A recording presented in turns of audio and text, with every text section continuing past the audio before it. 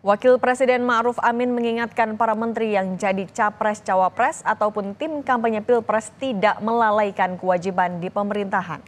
Wapres menyatakan akan mengawasi para menteri yang akan mengikuti pemilu 2024. Wapres Maruf Amin menyebut tugas sebagai menteri tidak boleh terbengkalai karena berkaitan dengan kepentingan rakyat.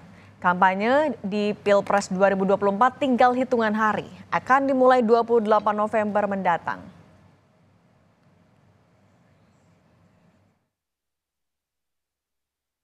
Tapi saya tentu akan terus mengawal itu. Saya akan terus mengawasi dan terus mendorong bekerja sebagaimana biasa. Ya jangan sampai kemudian tugas negara diabaikan ya karena masalah-masalah pilpres. Jadi eh, pelayanan kepada masyarakat tidak boleh berkurang walaupun kita menghadapi pileg, eh, pilpres.